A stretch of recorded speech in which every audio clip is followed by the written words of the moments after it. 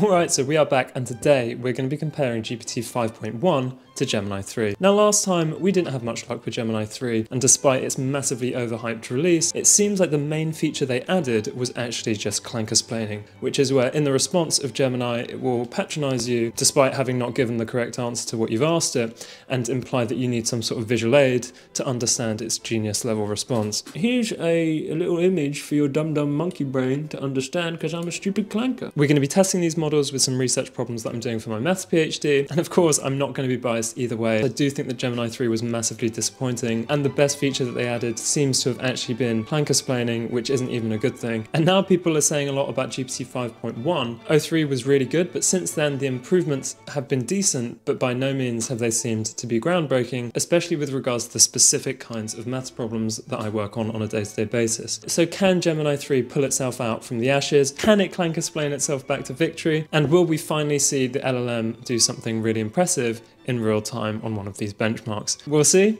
Let's get straight to the problem. Okay, so we've asked GPT 5.1 on thinking mode, uh, Gemini on deep research and thinking mode, so two separate prompts, and we've also asked Grok uh, 4.1 uh, thinking mode, which I guess is a beta version. So just as a summary of the question, so I'm not going to go into huge detail, but I said, here's a method I'd like you to study. It involves the Cholesky decomposition, evaluating some moments of logarithmic derivatives of characteristic polynomials in random matrix theory. I give it some ideas of what should happen. Important thing, you'd be left with many integrals in the complex plane. I explain the whole method, blah, blah, blah, blah, blah. This, I'd like you to comprehensively read this and see if you can generalize the work uh, in order to understand moments of the form like this, explaining what it is, exactly what it is. I basically say, okay, you might not be able to do this because it's too difficult. You might want to consider this, which might be a bit easier. Uh, so that's the prompt that we've actually given every single one of the models. It's the same one in every single one. A good thing uh, for Grok is I really like how they convert your prompt uh, into LaTeX code. That's something that Gemini and um, ChatGPT don't do. That's actually really nice. I hope that they implement that in ChatGPT and um, Gemini. I will say though, Grok's response was really disappointing. This is the main equation that it gets, and, and we'll see that actually every single one of these models seems to get this equation. Main reason being is because it's actually an application of a very well-established formula known as Faà di Bruno's formula. Uh, so this is kind of standard, it's nothing special. And other than that, it doesn't really do anything. The more interesting comparison I would say is Gemini and ChatGPT.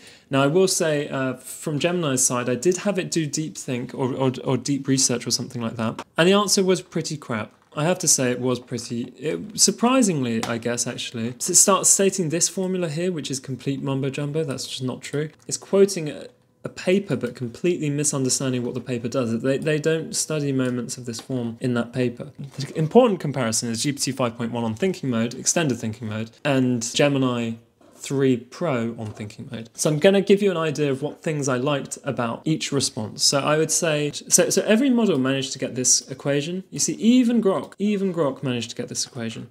We go down, boom, same equation. Grok, same equation. Uh, same equation, same equation, and they all give it the same thing. So anyway, then we go through. What I liked about Gemini's response was this. I'd say this was the most interesting part for me, uh, was this uh, limit of the gamma matrix, which you would need. To be honest, the rest of it is really not that useful. On the other hand, uh, ChatGPT, when we run through, bam, same equation that we mentioned. This equation I would say is nice, uh, but they package it here.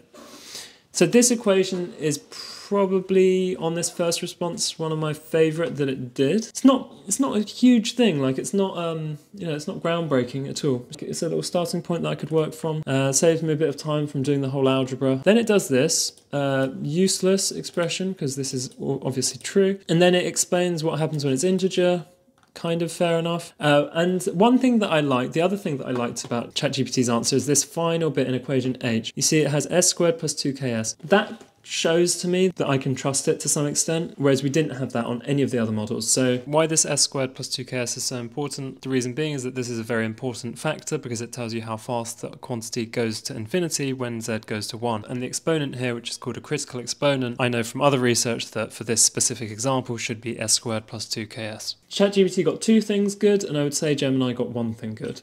So I then asked a follow-on question.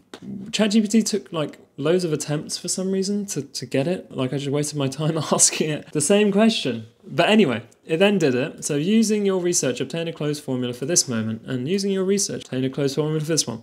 So I went through. From this point, they start to diverge. I think Gemini kind of redeems itself because it does clarify that it's sort of understood what you're doing. What's interesting about Gemini's response is that although it didn't get the correct answer, it did follow through with the prompt. I had asked it to evaluate two complex planar integrals, and that's exactly what it did. However, after verifying this on Mathematica, its formula was incorrect.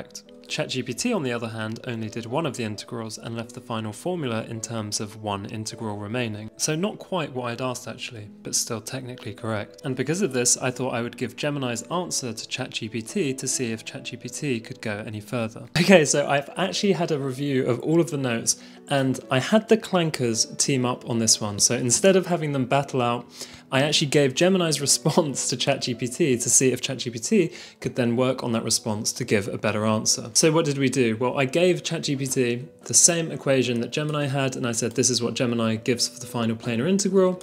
I know that it's wrong, but it has some truth to it because it agrees that z is zero. Could you obtain a closed formula by doing that last integral yourself? And after thinking for some minutes, it did manage to give this expression here, which is a very weird double sum.